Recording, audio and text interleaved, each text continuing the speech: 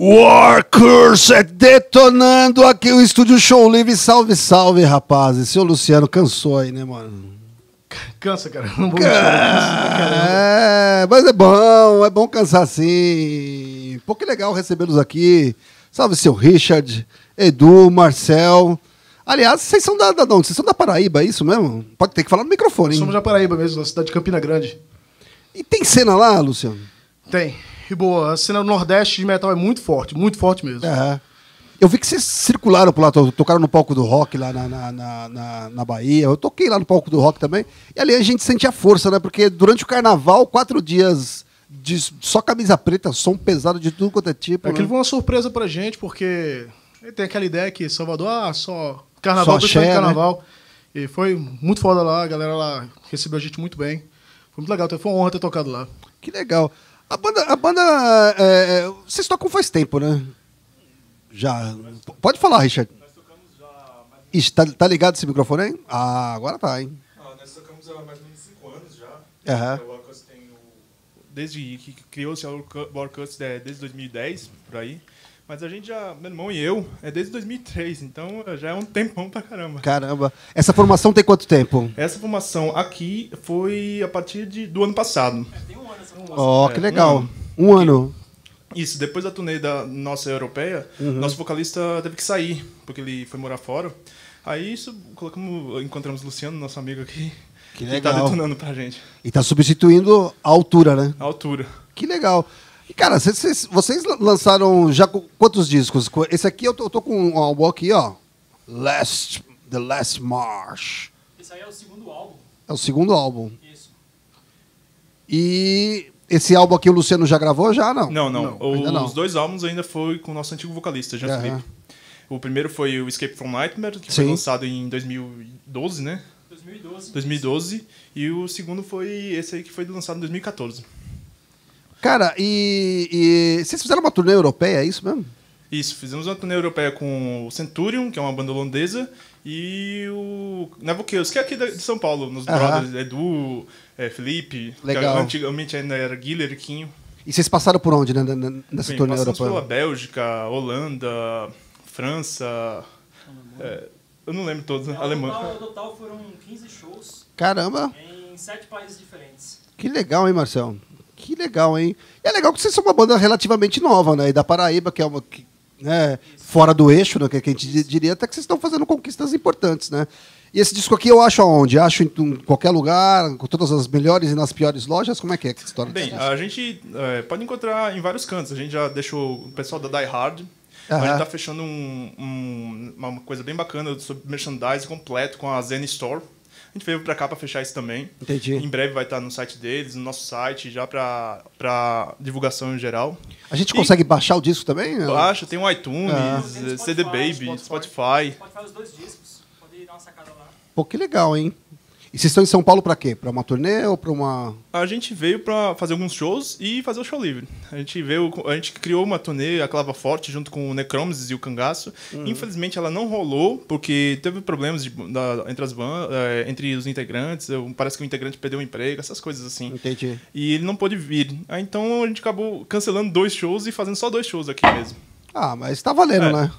Pra quem a gente ia vir pra fazer quatro, dois Aham. ainda salvaram a gente. Cara, e é, é legal ver sua cara, Richard, porque eu estava pensando que você era o primo Id, cara. Só um cabelo passando pra lá, pra cabelo passando pra cá. e, cara, vocês tocaram com, com, com, com quais nomes da- da- do, do- do metal nacional? Já, Bom, a gente tocou, é, fala no microfone, hein, Marcelo? tocou em alguns festivais é, bacana, Aham. com alguns, algumas bandas brasileiras grandes, como Sepultura, o Ratos de Porão, o Crisium Ó. também, o Claustrofobia, aqui, aqui de São Paulo também. Aham. Foram bandas bem, bandas bem bacanas que deu pra ter uma- um contato com os caras, ver mais essa questão do, do backline, do pessoal, acompanhar mais a- o backstage mesmo, sabe?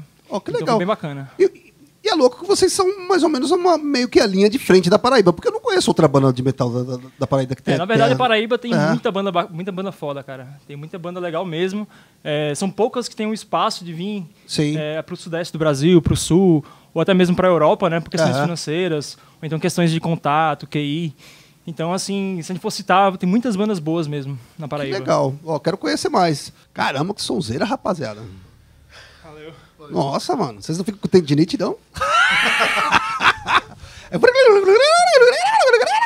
Eu falei, meu Deus do céu, vai perder os dedos dessa daí. Ah, muito bom, rapaz. Muito bom mesmo.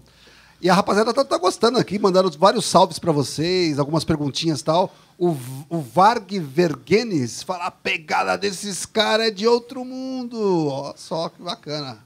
O Rodrigo Costa Rodrigues fala: manda um abraço pro Ice em Cachoeira dos Guedes. Ah, o aí, manda um abraço aí pro Ice em Cacho... É que? Cachoeira dos Guedes. Cachoeira dos Guedes. Ó, só, hein?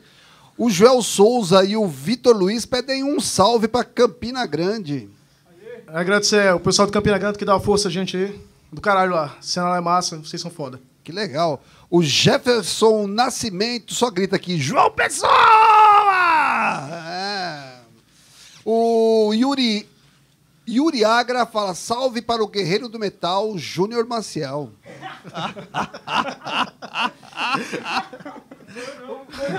Vou mandar, mandar um abraço pra Júnior Maciel aí, a galera aqui de São Paulo. Carnificina bestial, 666. Ah, A galera Carnificina Bestial, é? 666? aí, Tá é. certo. Nome simpático, né? Car- Carnificina bestial e tal, né? Muito. 666.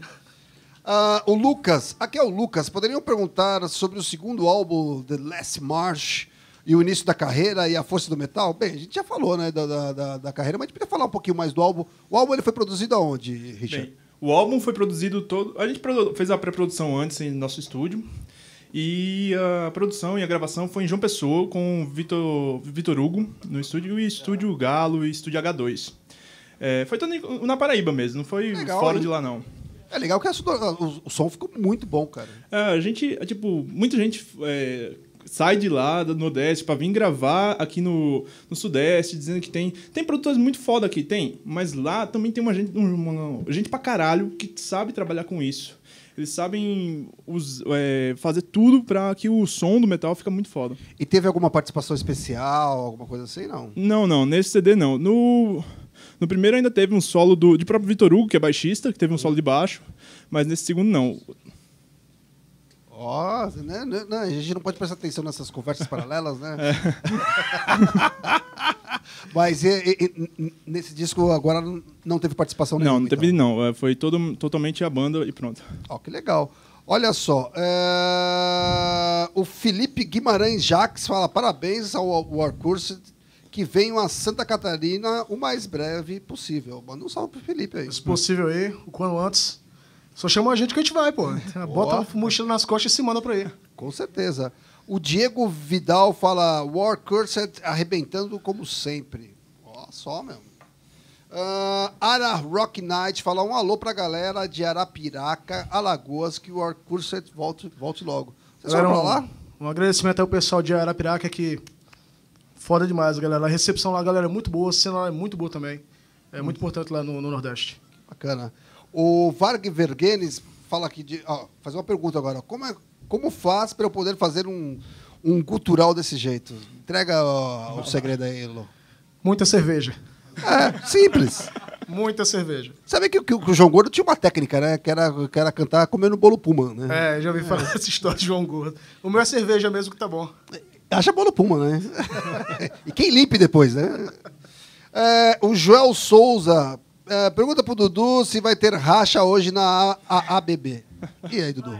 Fala no microfone, Dudu. Pô, vai, mano, vai sim, o Dudu tá dizendo aqui que vai. Vai lembrar a galera de botar o nome na lista do racha aí, hein? Opa, ó, se racha vai pegar mesmo, mano. O Diego Lopes fala qual foi a maior contribuição para a banda após a turnê pela Europa. Qual foi a maior? Ah, acho que Cara, divulgar, né, o É, trabalho, além, né? além de divulgar, é a experiência, sabe? Porque, tipo, a gente. pô, todo mundo que toca metal aqui no Brasil sabe que como é difícil pra caralho você tentar manter isso. Porque todos nós aqui trabalhamos, temos os nossos empregos, assim, coisa e tal. Mas, tipo, isso aqui é, é um trabalho. É paralelo, não é tipo. uh, Como é que diz? É, esqueci. Um hobby, né? Um hobby, não é um hobby. É um trabalho pra gente também. A gente não ganha com isso. A gente mais investe, mais. E, tipo, nossos trampos, nossos empregos, é, todos lá é o que subsidia a banda. E, tipo, a gente ir pra Europa. Então, no caso, a gente só traga no final de semana. É sexta, sábado, domingo. Sexta, sábado, domingo. Sexta, sábado, domingo. Às vezes, qu- três, quatro datas seguidas. Lá, a gente pegou. A primeira pena foi nove datas seguidas. É, ou seja, a gente, Caramba. pegou, a gente pegou férias, né? Pra gente poder viajar, ficar ausente aí uns 20 dias, fazer a rota lá de 15 shows, praticamente todos seguidos, apenas com um ou dois day offs, né? Pra aproveitar ao máximo a estadia pela Europa, né? E É acho que a satisfação né? maior é justamente você estar tocando para o público europeu, que é um puta de uma, uma galera que curte metal, Sim. e ainda mais encontrar bandas conhecidas, né? Bandas que a gente curte só por, por CD, ou uma vez ou outra que aparece no Brasil, os caras estarem no show da gente, nos pres- prestigiarem e, pô, dá maior força, vai lá, continua, me dá o CD, troca o material, da próxima vez passa por aqui de novo. Isso é muito, muito bacana pra, Legal, pra os gente. caras valorizam, né, cara? Apesar de. Você não precisa ser um sucesso pro cara valorizar, né? Você precisa ter um som legal. Exatamente. É, a gente vê que essa, até essas bandas, elas tocam nos mesmos lugares que a gente tocou lá, que não são é, imensos, assim, imensas casas, são pubs pequenos. O Incantation tocou com a gente num. num, num- como é que chama o negócio? Um, no- como é?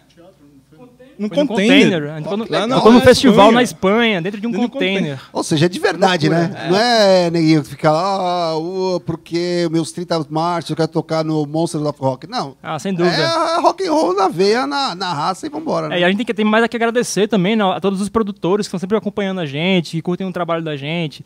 É, todo mundo da, da lá da Europa também, que deram uma força, o pessoal dos festivais lá. Sei lá, na, na Espanha tem a, o- a Marta lá da Espanha, que faz um, um puta de um festival dentro do Bruto container. Bruto legal. Lobos, isso. Ou seja, a gente deve essa- esse, esse agradecimento aos produtores que estão confiando no nosso trabalho, né? Que legal isso. Olha só, a revista Rock Meeting fala aqui, ó, nossos amigos do Warcuse, ah, eles estão divulgando aqui o programa tal, valeu a revista Ro- Rock Meeting. Ah, o Joselito Rocha fala, acompanhando a transmissão, o orgulho de ser conterrâneo desses caras. Ó, manda um sal- salve pro Joselito aí, hein? Ei, Joselito, para de beber, caralho. Ah, ele bebe muito, então ele é cultural também, né? Vai fazer um cultural igual o mim nesses dias. Pô. Ó, o Eduardo Lima pergunta aqui, como surgiu o nome da banda?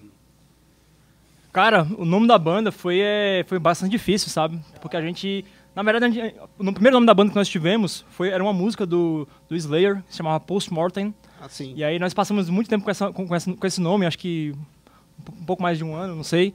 Mas aí quando a gente decidiu gravar o disco, o primeiro disco da gente, a gente viu que tinha uma banda com esse mesmo nome na, nos Estados Unidos, que era uma banda de trash. E ela estava desativa, desativada, meio ativada, e a gente pe- pegou e decidiu trocar de nome. Então a gente pegou e começou a pesquisar nome, nome pra cima e pra baixo. E aí eu, eu gosto muito de- do Creator, e aí tem uma música do Creator que é War Curse.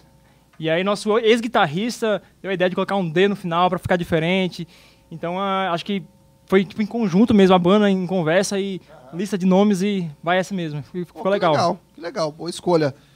Rapazes, o tempo urge, estamos chegando ao final. Considerações finais aí, tem show, o que vocês vão fazer? Tem algum recado pra rapaziada? Tem, tem show. A gente volta pra Campina Grande amanhã, é, acho que amanhã. E já no próximo final de semana, dia 23, já temos o show no Motofest, Motofest lá de Campina. Dia 7 e o. É, dia 7 e 8 de novembro, a gente toca em dois festivais grandes no, no Nordeste, que é dia 7 de, de novembro é, no Festival Mundo de João Pessoa. Um abraço lá pro pessoal do, festi- do Festival Mundo, o Ryan e o pessoal todo lá. E dia 8 de novembro a gente toca no Do Sol, Festival do Sol, que é o nosso outro amigão lá, o, o Foca.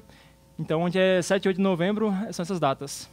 Ó, que legal, vocês trou- trouxeram camiseta, merchan, tem um monte de coisa aí. Uhum. pra- Então a rapaziada pode ficar ligada na, onde? No, no, no- no- site de vocês? Pra, pra É, poder... no, site, no nosso site, é, por enquanto, ainda a gente vende por método de contato. O cara entra em contato conosco, a gente vende e envia. Se a galera aguardar um tempo, a gente vai estar como tá fechando o acordo, a parceria com a, a ZN. Vamos botar tudo no site dos caras, a gente vai ter o link do nosso site para o site da ZN. E lá você pode comprar camisa, bottom, chaveiro, Caneca de chopp. caneca de Caneca de chopp. Eu- gostei a da gente caneca de chopp, você. é. aí. Vou dar um presente aí pra Clemente. A pega, caneca. ela, pega, pega ela pra mim, vai, ô, ô, Tá caixa Lucas. O Lucas não faz nada, só fica aí, olhando no iPad.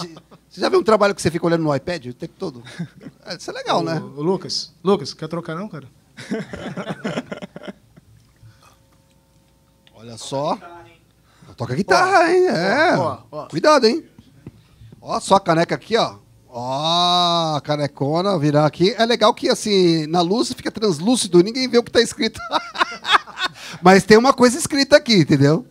Ó, aqui. Aê! Ô, melhorou!